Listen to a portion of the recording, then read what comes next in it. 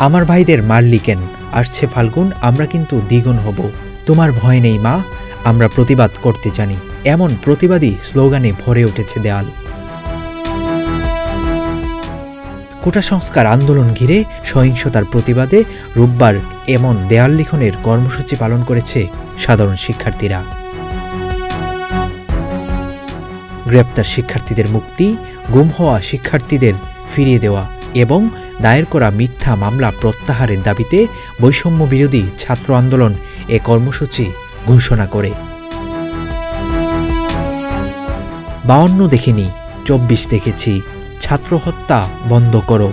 পারবেন আমার ছেলেকে ফিরিয়ে দিতে? এমন সব দেয়াল লিখনের ছবিতে সয়লাভ সামাজিক যোগাযোগ মাধ্যম। শিক্ষার্থীরা প্রতিবাদের ভাষায় বলছেন, শান্তিপূর্ণ আন্দোলনে শিক্ষার্থী হত্যার বিচার চাই। দেয়ালে ও সড়কে শিক্ষার্থীদের লিখতে দেখা যায় হামার বেটাক মারলো কেনে। বিচার চাই বিচার চাই। ছাত্র যদি ভয় পাইতো বন্দুকের গুলি উর্দু থাকতো রাষ্ট্রভাষা উর্দু থাকতো বুলি।